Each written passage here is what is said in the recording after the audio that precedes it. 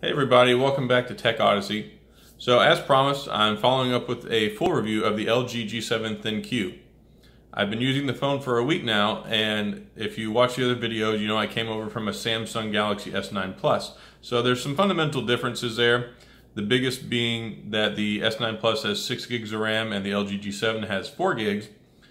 But you're also working with a little bit less screen and you know, really with the Snapdragon 845 processor, processor that's in both of them, it pretty much pans out in the wash. Also, uh, the big difference is in the screen. The S9 Plus has a AMOLED screen and the G7 has a LCD IPS panel. So if you don't know the background on these two things, the AMOLED screens are really good at producing dark colors, especially blacks, uh, which gives you really good video experience and things like that. But during the overall brightness, being able to see them out in the sun when you're out walking around, they kind of fall short a little bit versus the LCD, whereas the LCD has a much better white balance and the overall brightness is typically better. And of course you can see them better out in the sun, so that's cool too. Uh, one nice thing about the LG G7 ThinQ is it has a brightness boost uh, on the display slider so you can adjust the brightness. Uh, I don't really use the auto brightness which you can, um, but I really just like to run it at 100% all the time, which might be part of the reason that my battery life, not, battery life is not so great. but either way, uh, it's been a very enjoyable experience. It shoots 4K video, which is great. And it's got dual 16 megapixel cameras. One of them is a standard lens, the other one is a wide lens. It's not quite as wide lens as the LG G6, which is kind of a step back a little bit, but it's still better than you know, the industry standard of not having a wide lens camera. And really the wide lens gets such good pictures. It's one of those niceties where you can go out and you get that offset, you know, step back race, um, viewpoint where you can see further, you know, on the left and right, really all the way around uh, and get more in the picture. So that's super cool. It has an 8 megapixel front facing camera, uh, which is good. Uh, I'm not much of a selfie taker, but it'll get the job done. I, am not huge into that. So if you are, it takes great pictures. If you're not, you're not really losing anything. It has 64 gigs of onboard storage, expandable up to 512, 512 gigabyte, I'm sorry, 2 terabyte SD card. It has a 3000 milliamp battery, which is the same as the Samsung Galaxy S9 has. Now the S9 Plus uh, has a larger battery, but really I don't like comparing the LG G7 to the S9 Plus because it's the Plus model.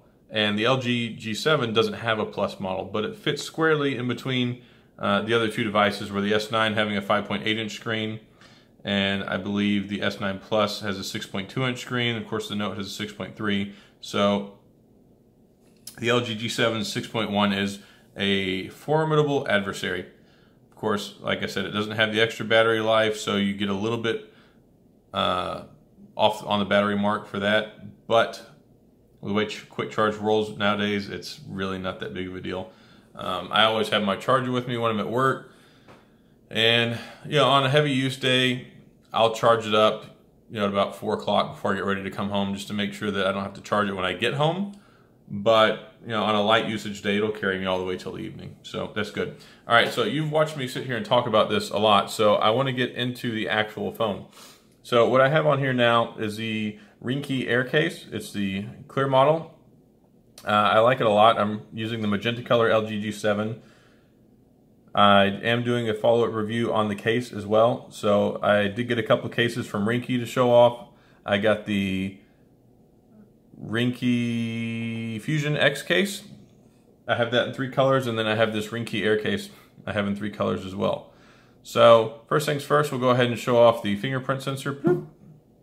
So it's not the fastest in the West. I mean, if you're playing quick draw, uh, you're not going to win, but I mean, it's comfortable. It works well. I don't have any issues with it. Uh, of course, you've got your power button over there on the right, and you have your dedicated Google Assistant button here on the left, along with your volume rocker. They're spaced out well enough. I don't really accidentally hit the volume button instead of the, I'm sorry, the, the assistant button instead of the volume button. But I do find myself accidentally uh, hitting it just because it's kind of hanging out down here by itself. So every once in a while I'll hit it and then if you hit it, of course, it runs off on its own. So you get the first vibration, which lets you know that you've activated it, and then the second vibration lets you know that it's okay for you to talk, which is great because with former you know voice assistants I've used before, it's hit or miss with waiting for the right time to actually start talking. And if you're following around with following along with the text, you can see that Google does a fantastic job of voice to text, which is great. Anyway, I'll go and turn that off now. Now, if you swipe over to the right, then you can go ahead and get over to the the uh, update bar for the Google Assistant that has some of the popular stuff that you may want to look at, which is common with both Bixby and as well as the iPhone. Now, you've got this little slider here. Uh, I have mine turned off. You can customize it and set it up for things that you want. Uh, you can even remove it just by dragging it up to the top there, but you can put it on fixed mode where it stays in the same spot. Otherwise, just take it and you can throw it to the other side of the screen. It won't stop in the middle. It'll gravitate towards whichever side is closest. But it's kind of like a quick options you can do for the screencast, oh, screenshot there. Whoop. And you can customize it for quick options, for text, for contacts. You can set it up for different contacts that you like and you talk to the most. All you have to do is just hit the thing, hit the little arrow and it expands and it contracts. So easy peasy. I don't like it though, so I'm going to get rid of it. I just did that for display purposes. Okay, so this is the home screen. Uh, it's got a little bit of everything here. I keep most of my social media on the front here. There's two different options that you can do. You can have an app drawer or you can run it without an app drawer. Uh, I don't like the app drawer because I can't swipe it up. That was one of the things I really like with the TouchWiz interface on my S9 Plus is I could just swipe up and it would get to my app drawer. So I didn't have to have everything hanging out here on the screen. But if you set it up right and have it the way you want, it's not that big of a deal. So common stuff I put closer and then you can see I've got junk you know farther away. Uh, T-Mobile does have some built-in apps. Of course, it stays in its own folder, so I don't really mess with it. Uh, I'm super happy today because if you're signed up for it, Alto's Odyssey came out, so I just downloaded that this afternoon, so I'm super excited about playing that when I get done with this review. All right, so we swipe down from the top and we get to our quick options, and then of course, if you swipe down again, you get to the expanded quick options, which has two different pages. You can edit that, which is not really worthwhile. All that's in there is color inversion and nearby Google Place something. I'm not even going to click that because I don't want to interrupt the video. But you can go ahead and you know, drag and drop and edit your panel there. So we're going to call that good. Now, one of the cool things that you're going to see here is you got your DTS:X 3D surround, which is cool. It gives you an enhanced sound profile and of course that stereo goodness with the uh, 3D three-dimensional sound stuff so you can kind of get a feel for where the sound's coming from instead of all just uploaded up front. This, the Hi-Fi Quad DAC, the 32-bit sound is legit. Uh, I was using it all yesterday. Uh, I've got a set of Skullcandy Aviators, which I paid like 180 bucks for like two or three years ago. And I have used them quite extensively and it sounds phenomenal. Uh, the only way you can use the 32-bit quad DAC is if you have a 3.5 millimeter headphone jack uh, where you have your headphones plugged in. It doesn't work over wireless. So if you plug it in over wireless, this is going to say shaded. You can't activate it. Uh, if you do turn it on though, it has some mixer options where you can adjust the sound profile, which is super sweet. And I may actually do another video just showing off the 32-bit. Of course, I can't let you hear it. You're not going to be able to tell much of a difference. Uh, you might be able to if I plug it into a speaker through the direct line in, just so you can see that there is volume enhancement, there is clarity improvement, and overall, it just sounds great. Now, the other thing you need to bear in mind is 32-bit quad DAC is 192 uh, hertz, uh, 190 megahertz, hertz, megahertz, I can't remember. Uh, I think it's hertz. And essentially once you get into that category, you're talking about lossless sound. So FLAC or uh, HD audio is preferred so you can really maximize it. It doesn't do you any good to be running, you know, 32-bit quad DAC sound and run it listening to 92 kilobit, 128 kilobit, you know, low quality audio. So if you're expecting to use it with like iTunes, Napster, something like that, and you have the sound quality turned down, you're not going to maximize the experience and get to hear that super awesome sound the way that it's designed to, and really what draws in people to this super awesome audio. All right, so that's enough on that, but it's really cool. So we're going to go into the full settings. They have it partitioned into four different categories, network, sound, display, and general. Now, in the network setting, you didn't really care that much. Uh, you've got screen sharing, which is cool. But that's about all that's worthwhile here. Uh, other than, of course, your Bluetooth. Disable NFC uh, if you're not using it. Save on the battery. Android Beam. I have all that stuff turned off.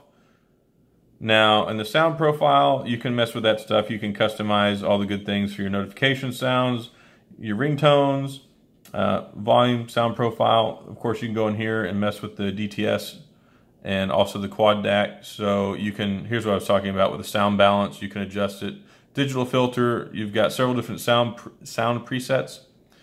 And then the volume here, which I have turned all the way off right now. And then you've got different e equalizers. You can manually adjust the equalizer in custom, but there's plenty of different um, preset ones to choose from, which are good. I keep mine on classic. It's a good balance. Uh, it helps the vocal stand out, but it lowers the bass a little bit to where you get more of a solid hit than just the you know, carrying uh, annoying bass. All right, so let me go here to display. Now display has some cool stuff. You've got the new second screen.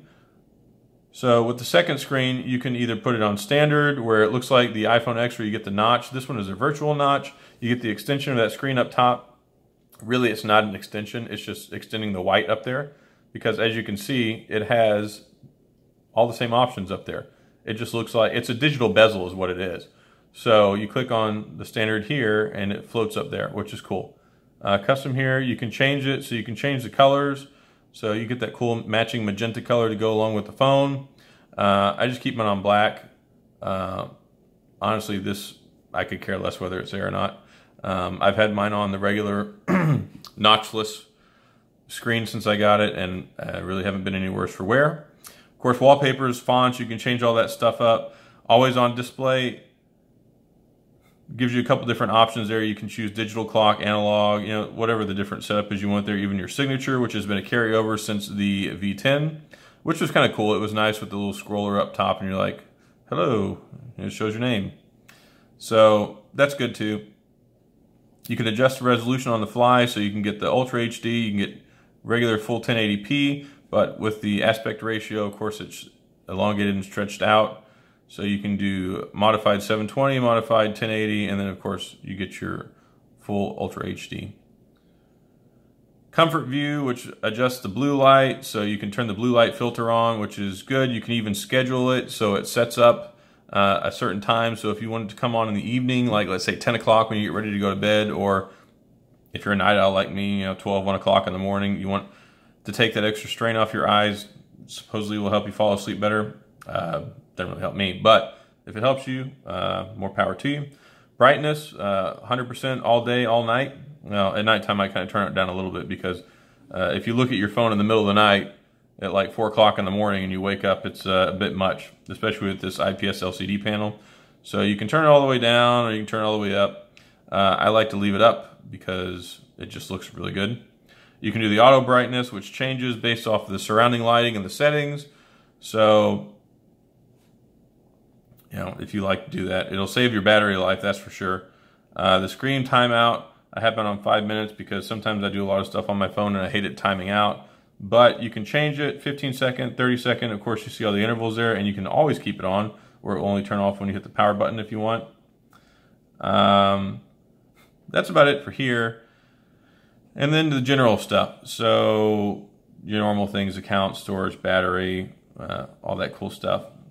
Knock, uh, the double tap on the screen to wake, which is great. LG started this with the LG G2, which was a phenomenal phone, especially when it came out. But double tap, you're good to go. I'll go ahead and hit the fingerprint sensor there, and away we go. So last but not least, I want to go ahead and show off the camera. The camera has a couple different things built in. It has the AI camera, and one of the biggest things, the selling points that LG has had with this is this artificial intelligence camera. Uh, I'm really not into a lot of camera stuff, but I did go through the painstaking process, not really painstaking, but I did go through the process of testing it out. And I'm going to show it off here on the camera so you can kind of see what it does. What it does is it identifies different types of objects so that it can optimize uh, the shot for whenever you take the picture so you can get a better shot versus just doing the regular uh, autofocus. So I put a couple items up here on my table. So we can go ahead and look there and it will pop up and it will tell you, let me put on AI cam. It will tell you kind of like what the object is. So it's like, well, it thinks my phone thinks a flip-flop, home interior. Um, go ahead and click there. Move it around and see if it picks up some of the names so you can see them there. Earlier it was like all over the place.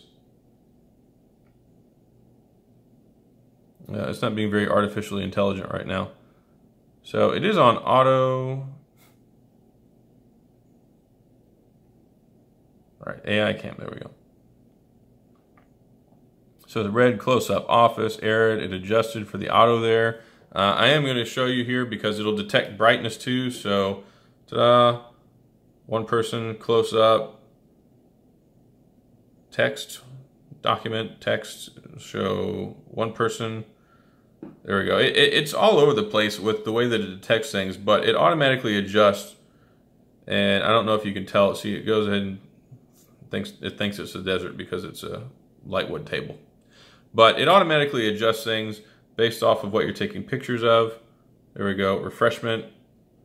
It changes there for the drink, for the water. So I mean, it's okay. I got kind of a lot of stuff out there on the table. I mean, red poodle document, it, parking. It picks up all sorts of weird things. Um, but it does adjust and it does well with the color balance stuff for the pictures and everything. So if you're into this cool, nifty stuff, then it's a nice feature, but otherwise, I haven't really found that it's improved my quality of life all that much, so it's not something to write home about. Uh, the integrated Google Assistant, I really like. It even has a Google camera on here. So we'll go ahead and tap on that again to get back to normal mode. It's got Google Lens. Now with Google Lens, you can you see little you know little fairy dots here that pop up. You can you can click on things. So like I'll click on this brush right here. Oh, there we go. It picked up the school glue. so I'll confirm that it is school glue and it'll look up the results. There we go. Elmer's liquid uh, school glue, four ounces. So that's kind of cool. Um, we'll go ahead and go back. So we'll click on that. Might be one of these. Uh, Still picking up on the glue. There we go. Looks like a brush. Yes. Thumbs up. So now it's going to go out. Uh, well, it says, glad you like it. So apparently it's not good at finding brushes. Let's see if it picks up the Pop-Tarts. See if I can get this on the screen for you. All right, so there we go. Looks like we got Pop-Tarts back there. All right, Pop-Tarts. It found the identical one there. So we have the 16 value pack of Pop-Tarts. So you can do that. And then it'll throw it over in Google. Apparently it's $4.37 through jet.com. Uh, eBay apparently wants to charge you a lot of money for Pop-Tarts. And there we go. I'll click on that cup. Nope, still got the Pop-Tart. And still got the Pop-Tart. So it likes to focus and fixate on things. Let's see if we can get the Get that back there? Nope. All right, so it did find my drapes. So it put those on there. Uh, $15.14 It's about right. I picked them up at Walmart. They have a lot of the same pattern. so it'll find like items as well if they're out there and available. So there's that. Uh, the biggest selling point on this, of course, it has portrait mode, which you can put that on there so you can get portrait pictures. Uh, I'm not taking a portrait of myself right now, but it'll give you that focus, you know, in the front with the, you know, digital bokeh effect. So it'll blur out things in the background and take a good portrait of your face or somebody else's face. Now, the important thing here is you've got two different modes. Uh, you've got single mode, which, you know, it's normal regular shooting mode, and then you've got the wide lens. So it takes it back a notch. So as you can see there, it's kind of like that fisheye effect where it zooms back and you get everything in the image. And then we'll go back to normal. So normal, it's really easy to switch back and forth. Wide lens. Now, if you want to switch it from regular picture to selfie, all you have to do is you can swipe from left to right and it'll turn it around, or you can swipe from up to down or down to top to bottom, any which way but loose, and you can switch it back to a selfie. Uh, it's very easy. to use. I mean, it, it, takes good pictures. The only thing that I have to complain about it is the inconsistency with the pictures. And I've been using the S9 Plus for a while and it takes phenomenal pictures, like great pictures. Uh, this one can take great pictures and you can take really good pictures and the colors will pop and it'll look great. And let me see here.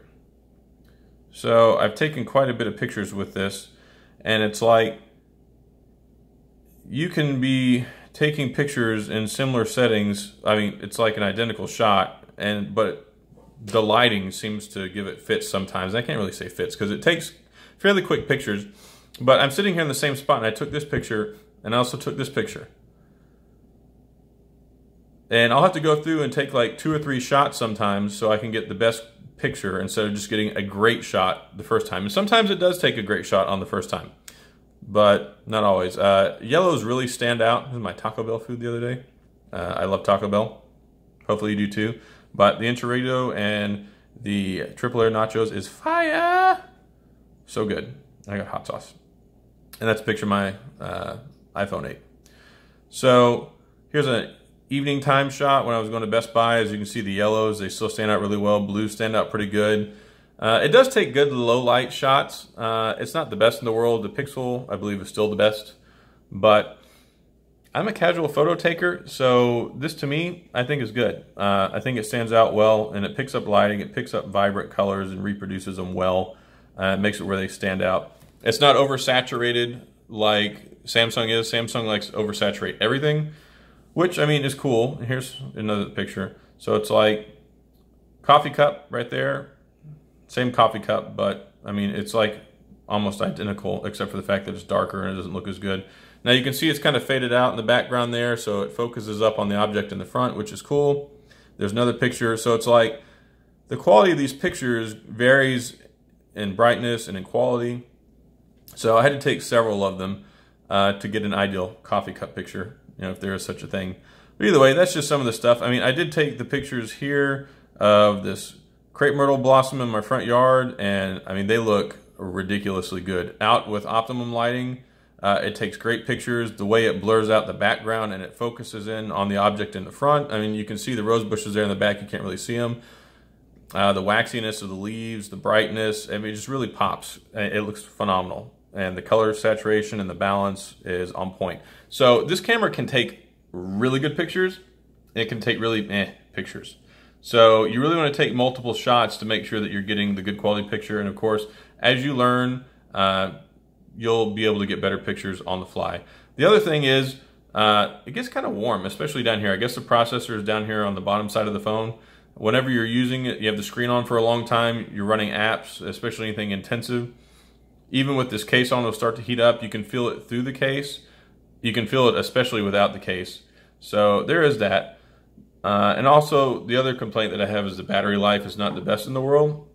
But then again, I don't do any battery saving measures at all. Uh, in fact, uh, I'm very probably very hard on my battery because I leave the screen on for a long time. I use it a lot. But even with that being said, I can still get you know from seven o'clock in the morning till four o'clock and use it however I want, and, and still have you know about 20% left over. So it'll get you through a full workday, even if you're using it a lot during the workday. On an off day, uh, on a day I'm not using my phone very much, or I'm not sitting there with the screen on, uh, using you know now Instagram because I've been hooked to that for the last week. Um, it'll get you through a full day. And the nice thing is, is with the quick charge, it recharges really fast. It has wireless charging, which wireless charging is not very fast, but it's a nice option if you're sitting there and you just want to kind of charge your phone on the fly while you're at the desk. Either way, uh, all in all, I'm super happy with it. Coming over from the S9 Plus, I expected to be not so happy with it. I've had other LG phones in the past, the G5 being my most recent one, which was kind of a letdown. Um, it just had it had a lot of issues, and the whole modular design thing was kind of a wash. But I mean, it was integral in kind of setting the stage for other phones like the Motorola's to come out with their modular attachments, which is cool. Uh, the G2 and the G2 Flex uh, were spot on, two of my favorite phones of all times in the Android world. So I went and looked at this one several times before I went ahead and decided to buy it. And I was like, man, it's lightweight. Uh, the form factor is fantastic. Uh, the performance is good. I had question marks in my brain about the software, but the software has been good. Yeah, before it was kind of intrusive. know, you pull over on the screen, you get the whole stretchy thing. Really, it's just kind of gimmicky to me. And I think that they really hammered home and refined a lot of stuff with the user interface on this one. So I've been very happy with it. I haven't really noticed any performance problems. Um, it will get choppy every once in a while when you have a whole bunch of stuff open at the same time. But I mean, you're going to get that with pretty much any phone when you have that many apps going on at once. And that's where it would be really nice to have that six gigs of RAM. It's not a killer by any means uh, as far as wanting to get this phone. Uh, there are definitely reasons to get this phone versus you know an iPhone, the latest generation, or even the Samsung Galaxy S9 Plus. Uh, I would recommend it over the 8 Plus. Uh, the 9 Plus, you know, at, at that point, it's really like, do you want Samsung Pay? Do you want a Samsung Watch? Or do you want the Apple ecosystem? Do you want to have iMessage? Which that's one of the reasons why I have an iPhone 8 is because a lot of my family and friends use iMessage. So I, I carry two phones all the time. And that and, you know, gives me an excuse to review them whenever they come out. So I think it's a solid phone. Sound wise, there's nothing on the market that can compete with it. The AI stuff I still think is kind of gimmicky. You may buy into it more than I do, but that's not really my bag. So um, the IPS LCD panel is bright and gorgeous, and I think really, in my opinion, has the best screen out of the flagship phones right now. I haven't tested out the HTC U12 just because of the availability issues. I haven't seen one in person, but brightness, uh, contrast, representation of colors, saturation, overall, I think this uh, between the iPhone and the Samsung has the best screen. And I even saw differing opinions about you know concerns with the panels whenever they came out. But if you want to know the truth, LG makes panels for iPhone, and they make panels for um, the Pixel as well. So you've got the Pixel 2 XL as an LG screen. Uh, I believe the screen in the iPhone 10, I think, is an LG, but I know that LG is building the panels for the new iPhone, so they know what they're doing when it comes to screens and with sound. Uh, as long as they can continue to have a more minimalistic approach when it comes to their user interface, I think they're going to go a long way in the future. And I'm sorry this video is so long, but it's so comprehensive, and I want to give you a rundown of everything. So thanks for tuning in. Uh, I appreciate you watching, and thank you for any of you who subscribe and share this content. Also, check out the Instagram page that I have now, Tech Odyssey, tech underscore Odyssey. And as always, I'm going to continue to put more content out. I am going to make a LG G7 ThinQ and S9 Plus side-by-side -side comparison. So you'll be able to see both of those firsthand. And yeah, so that's coming down the pipeline along with some other reviews of other stuff. So like I said, thanks. I appreciate it. I always appreciate your support. Ask questions. That's what I'm here for and my phone screen is turning off, so that means it's time to call it night. So y'all have a good good one, and I'll see y'all next time.